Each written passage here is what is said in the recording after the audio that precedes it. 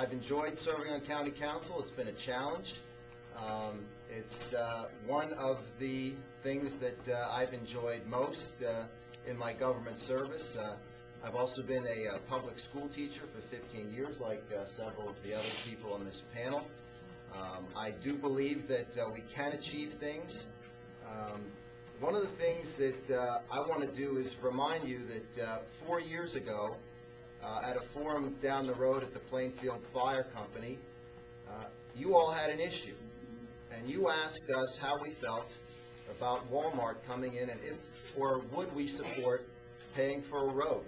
I told you that I would vote to pull that money, and I'm proud that every time the vote came up, I stood up and did exactly what I told you I would do four years ago. Thank you.